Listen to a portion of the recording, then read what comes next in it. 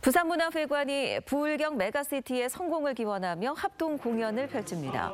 부산문화회관 시립합창단은 창단 50주년을 맞아 오는 23일과 4일 울산 창원 시립합창단과 함께 카르미나 브라나 공연을 마련했다고 밝혔습니다. 이번 공연은 합창과 오케스트라, 무용이 어우러지는 대규모 행사로 펼쳐지며 부산시립 소년소녀 합창단과 부산 청년무용가 단체인 더 파크댄스도 함께 참여합니다.